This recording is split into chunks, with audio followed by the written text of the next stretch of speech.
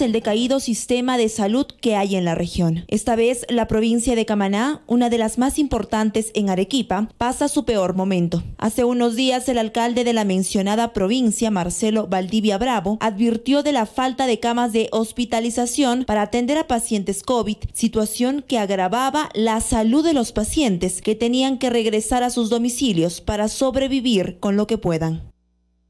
Bueno, se está atendiendo como llegan, pero como les digo, de repente algunas personas que merecen hospitalización no las están hospitalizando porque está completamente lleno. Pero sale uno, entra otro, lo reemplazan en forma inmediata. Eso es lo que se está haciendo.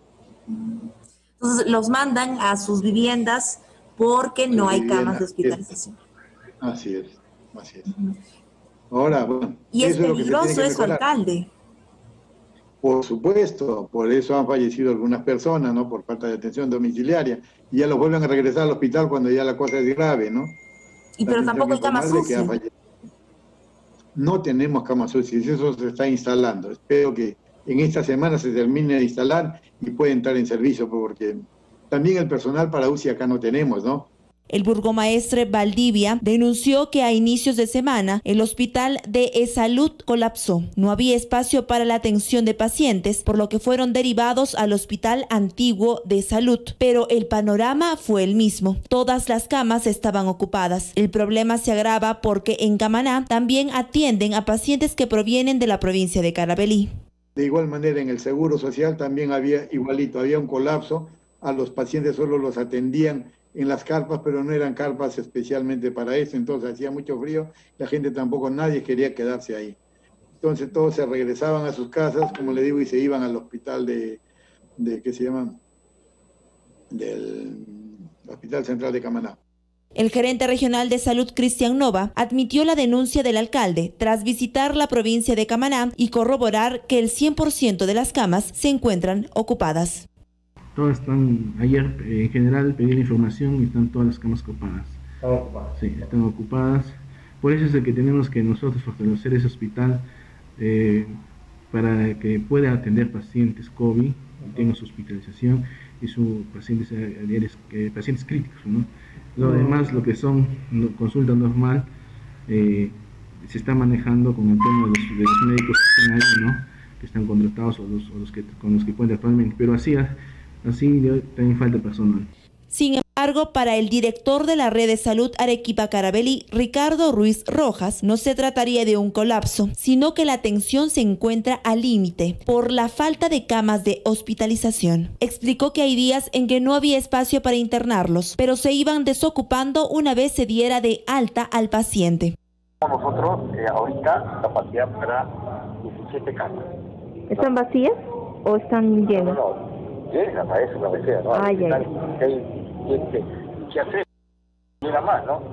Pero felizmente también eh, vamos saliendo pacientes de alta, entonces este, como que, eh, digamos, eh, no colapsamos, ¿no? No, no tenemos necesidad de, de tenerlos ahí sentados, ¿no? Felizmente hasta ahora, ¿no? Lo preocupante en Camaná es que no existe unidad de cuidados intensivos para pacientes críticos por ser un hospital de nivel 2-1 Ruiz Rojas señaló que derivan a los pacientes graves a Arequipa para que sean atendidos. Sin embargo, los nosocomios de la Ciudad Blanca tampoco tienen camas UCI disponibles y los enfermos mueren en el camino. Uno de los casos que se hizo público fue la muerte del jefe de la comisaría de Ocoña, Ángel Huanca Caguana, quien murió el pasado 28 de junio cuando ingresaba al hospital Honorio Delgado. De haber existido una cama UCI en Camaná, se hubiese podido salvar la vida del efectivo policial. El problema es que no había campos ahí. Acá, en Arequipa. Así es, así es. Y falleció esa persona, ¿verdad? Sí, los policiales eh, se requería trasladando a lista, ¿no? Bueno, que sabe que hay algunos problemas administrativos, ¿no? Le salió un particular trasladando, y finalmente pues falleció también. Claro. Esos inconvenientes no son los que tratamos de evitar, por eso tratamos de manejar y que no se nos compliquen los pacientes. ¿no? Ruiz refirió que hay un sistema de salud precario en la región. Por ello, solo se espera detectar a tiempo el virus y que pueda recibir el tratamiento especializado para que no sea hospitalizado. tenemos un sistema de salud realmente precario, con muchas deficiencias ¿no? desde eh, infraestructura, desde recursos humanos, especialistas, equipamiento, ¿no? Claro. Como digo, esto viene de varias décadas. Ahora, el apoyo que usted... pues, esta, esta pandemia no, nos ha hecho ver nuestra cruda realidad. Las cifras no son alentadoras. Hasta el 12 de agosto, Camaná y Carabelí presentaron 1.458 contagiados con coronavirus y 31 personas perdieron la vida. El Hospital Antiguo de Camaná, con las carencias en equipos e infraestructura, también presenta poco personal médico. De los 35, solo 5 se ocupan de atender a pacientes COVID. En esta provincia costeña de Arequipa se inició la construcción del Hospital de Camaná el pasado 2016 con una inversión de 77 millones de soles. Sin embargo, debido a cuestiones políticas y judiciales, la obra está paralizada desde el 2019, a pesar que tiene un avance de tan solo el 70%. El alcalde Marcelo Valdivia responsabiliza a las autoridades regionales porque dicho nosocomio tiene camas de hospitalización que ya están en vía de solución, pero esto está demorando, esto debió haberse hecho mucho antes, pues. Ahora, alcalde, usted que ha visto este tema eh, justamente de, de, este hospital que ni siquiera está construido, ¿usted no ha pensado en demandar al gobierno regional que ya se, se ponga en operatividad este hospital? ¿Cómo está ahorita, por ejemplo? Usted que, que está cerca. lo que hemos conseguido es, hace un mes se comprometieron a venir a Camaná y darnos el informe del cronograma de, culminación del hospital. Pero ahora han llegado, efectivamente han venido la reunión, han cumplido con venir, pero nos dan la mala noticia de que por problemas burocráticos ese hospital recién va a entrar en funcionamiento en el mes de agosto del próximo año, o sea, de acá un año más.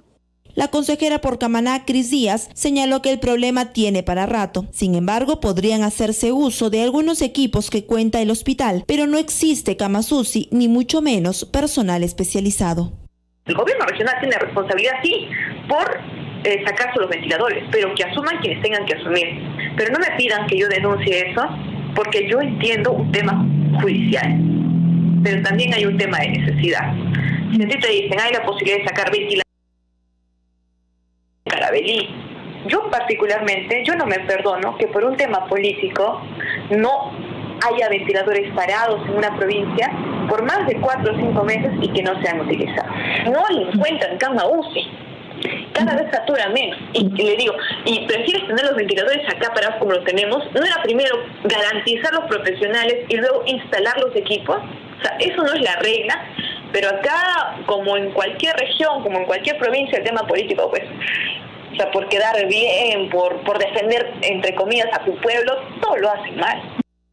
Ante el clamor de la población de Camaná, el último jueves el jefe del comando COVID, Gustavo Rondón, viajó hasta la provincia y se comprometió a instalar dos camas UCI, ocho equipos de respuesta rápida compuesta por personal de salud, además de la instalación de 14 camas en el terminal terrestre y 14 en el hospital de E-Salud. Alrededor de 14 camas hay para lo que es el centro de atención temporal y 14 camas para e-salud también, ¿no? Eh, en ese contexto eh, se está trabajando. Otra de las promesas que dio Rondón fue trabajar en la culminación de los hospitales de Camaná y Chala en Carabelí. Nosotros vamos a trabajar mucho con los congresistas, voy a tener a la siguiente semana una entrevista virtual con ellos para pedirles justamente eso. Por ejemplo, creo que está más cerca el de Chala, y el de Camaná parece que tiene alguna otra complicación, ¿no? Pero eh, son esas cosas pues de lo judicial, ¿no? Y que ah, también se ha perdido tiempo en ello, hubiera sido ideal que esos hospitales que dejamos ya estuvieran operativos, pero bueno, hay que luchar contra esa adversidad y ya, y lo vamos a hacer porque ya está judicializado y creo que está en la parte ya de Lima. A la entrega de equipos que hizo la región se sumó la colaboración de 10 camas del municipio de Carabelí y el apoyo de la iglesia en la instalación de una planta de oxígeno. Sin embargo, para el alcalde Valdivia existe un problema y es que están contra el tiempo. Por ello, espera que estas promesas se hagan realidad lo más pronto posible. También se está implementando el terminal terrestre con una carpa clínica que ha donado la Sauder y que ya está armada espero que el día de hoy o mañana ya debe entrar en funcionamiento. Se estaba también a la espera de la contratación de un grupo de médicos enfermeras y tecnólogos para un promedio de 20 para que hagan la atención en este en el terminal terrestre. Lo cierto es que mientras se logre instalar al 100% las carpas y habilitar las camas de hospitalización, la pandemia no da tregua y cada día cobra más víctimas.